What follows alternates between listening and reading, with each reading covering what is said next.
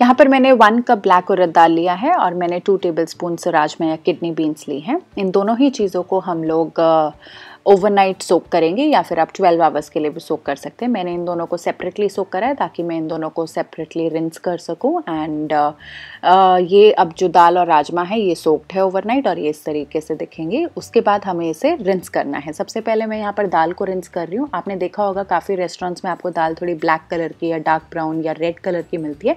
तो वो डिपेंड करता है कि आपने दाल को रिंस करा है या नहीं करा है। अगर आपको नहीं रिंस करना है इट्स कम्प्लीटली फाइन बट मैं इस वाले रेसिपी में मैंने इस दाल को थोड़ा सा हल्के हाथों से।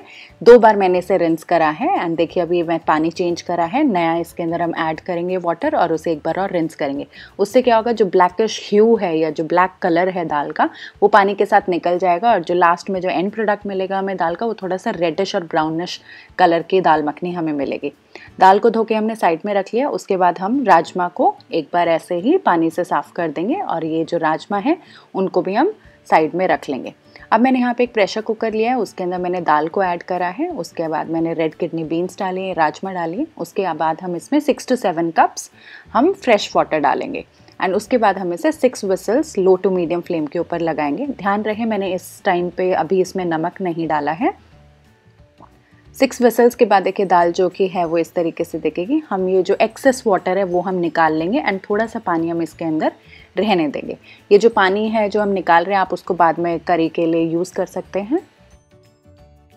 अब इंग्रेडिएंट्स के लिए मैंने यहाँ पे टोमेटो प्योरे लिया है। आप चाहे तो टोमेटो प्योरे घर में भी बना सकते हैं। मेरे पास ऑलरेडी इसकी रेसिपी है, उसका लिंक मैं डिस्क्रिप्शन बॉक्स में डाल दूँगी। ये जो टोमेटो प्योरे ये वाला स्टोर पॉट है उसके बाद मैंने यहाँ पे बटर यूज़ करा है। बटर ऑलमोस्ट हम लोग इस रेसिपी को बनाने के लिए 100 मिलीग्राम ऑफ़ बटर मैंने यूज़ करा। आप चाहे तो ज़्यादा भी डाल सकते हैं, आप चाहे तो कम भी डाल सकते हैं but since it is dal makhani so butter मैं कहूँगी कि आप ज़रूर डालें। उसके बाद मैंने यहाँ पे बे लीव सिनेमन स्टिक और क्लोव्स लिया है। फिर मैंने जिंजर गार्लिक पेस्ट लिया है और ये कोरिएंडर की लीव्स ली हैं। थोड़ा सा ऑयल हम लेंगे। एंड यहाँ पे मैंने फ्रेश क्रीम लिया। आप इसकी जगह मेरा बादाम मिल्क भी यूज़ कर सकते हैं, जो कि मैंने अपनी काफ़ी रेसिपीज़ में यूज़ करा है। उसका लिंक भी मैं आपको नीचे डिस्क्रिप्शन बॉक्स में डाल दूँगी।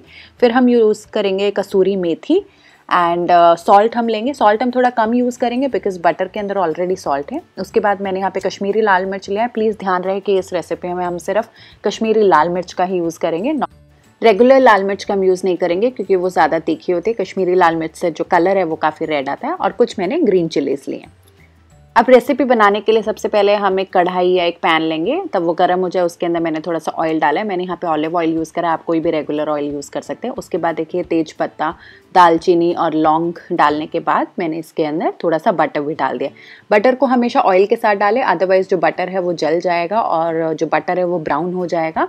इसलिए लो फ्लेम के ऊपर ऑयल के साथ ही बटर को हमेशा डालें। उसके बाद मैंने इसके अंदर ग्रीन चिल्लीज डाल दी हैं और जो जिंजर गार्लिक पेस्ट था वो डाल दिया। जिंजर गार्लिक पेस्ट के लिए मैंने उसके अंदर almost five to six garlics and one two two inch of ginger मैंने यूज़ करा था या अदरक यूज़ करा था मैंने उसके अंदर। जो गार्लिक था वो थोड़ा सा मोटा था तो इसलिए मैंने कम यूज़ करा। अगर आपके पास पतला वाला गार्लिक है तो आप सेवन टू एट गार्लिक्स डाल सकते हैं। वो सॉटे करते रहेंगे हम और उसके अंदर मैंने इसके अंदर स्पाइसेस डाले। आपका जो कश्मीरी लाल मिर्च था वो और जो नमक था वो मैंने इसके अंदर डाल दिया है। इसको अब हम सॉटे करेंगे ऑलमोस्ट 15 सेकंड्स तक लो फ्लेम के ऊपर। ताकि जो रॉ फ्लेवर्स हैं गार्लिक और जिंजर का वो चला जाए। उसके बाद देखिए मैंने इसके अंदर टोमेटो प्योरे डाला है। प्योरे मैंने यहाँ पे थ्री फोर्थ कप ही डाला है बिकॉज़ मुझे पूरा वन कप थोड़ा सा ज़्यादा लग रहा था, इसलिए मैंने सिर्फ़ three fourth quantity tomato puree का डाला है। एंड प्योरे अगर बहुत ज़्यादा थिक हो तो आप उसके अंदर थोड़ा सा पानी मिलाकर भी डाल सकते हैं। तो इट डिपेंड्स कि आपको कितना ज़्यादा थोड़ा सा स्वीट एंड टैंगी सा फ्लेवर रखना है या फिर आपको ज़्यादा तीखा रखना है तो इट डिपेंड्स तो इसलिए मैंने इसके अंदर थ्री फोर्थ टोमेटो प्योरे डाला। है इसको हम फाइव मिनट्स तक लो फ्लेम पे अच्छे से पकाएँगे ताकि जो टमाटर है, जो उसका जो फ्लेवर है, वो रेसिपी में आ जाए एंड साइड में तब ऑयल जो कि है, वो आराम से दिखने लग जाए। उसके बाद मैंने इसमें कसूरी मेथा, मेथी डाली है। कसूरी मेथी को आप थोड़ा सा ड्राई रोस्ट करके भी क्रश करके डाल सकते हैं और आप नॉर्मली भी डाल सकते हैं इस रेसिपी के अंदर। एक बार हम इसे स्टर करेंगे और उसके बाद हम इसके अंदर जो हमारी दाल थी, वो हम इसके अंदर डाल देंगे। दाल को बॉईल करते वक्त मैंने उसमें नमक नहीं डाला था तो अभी तक मैंने इस रेसिपी में नमक डाला है तो मैंने थोड़ा कम रखा है बिकॉज़ दाल मखनी में अगर ज़्यादा नमक हो जाता है तो वो अच्छी नहीं लगती एंड यूजुअली इस रेसिपी में बटर काफ़ी डलता है तो बटर के अंदर ऑलरेडी नमक होता है तो आई विल सजेस्ट कि आप नमक बशर्ते बहुत कम डालें। अगर आपको कम लगे एंड में तो आप उसके अंदर हमेशा ऐड कर सकते हैं। अब देखिए, हमने यहाँ पे वाटर डाल दिया है एडजस्ट करने के लिए थिकनेस मैंने यहाँ पे फ्रेश वाटर डाला है। आप चाहें तो जो वाटर हमने रिज़र्व करके रखा था, दाल तब बॉईल हुई थी, आप उसको भी डाल सकते हैं।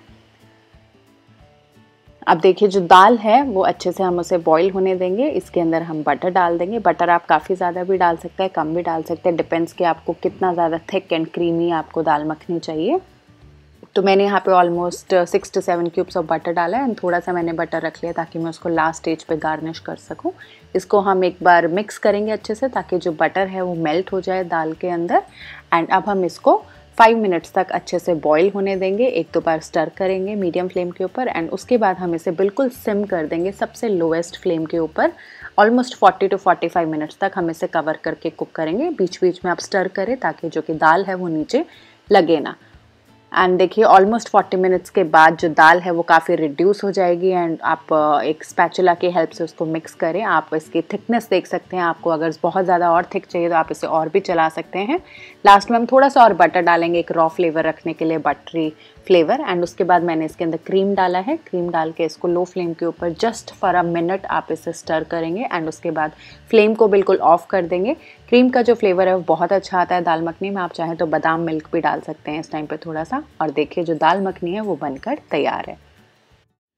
आई रियली होप आप लोगों ने इस रेसिपी को ज़रूर एंजॉय करा होगा तो प्लीज़ आप इस रेसिपी को बनाइए, अपना जो फीडबैक है वो मुझे बताइए। एंड वीडियो को लाइक करना मत भूलना कमेंट लिखना मत भूलना एंड सब्सक्राइब करना तो बिल्कुल मत भूलना because if you subscribe you get all the notification for my new videos तो हम मिलेंगे नेक्स्ट एपिसोड में एक बहुत ही शानदार रेसिपी के साथ अलॉन्ग विद मेरे साथ। बाय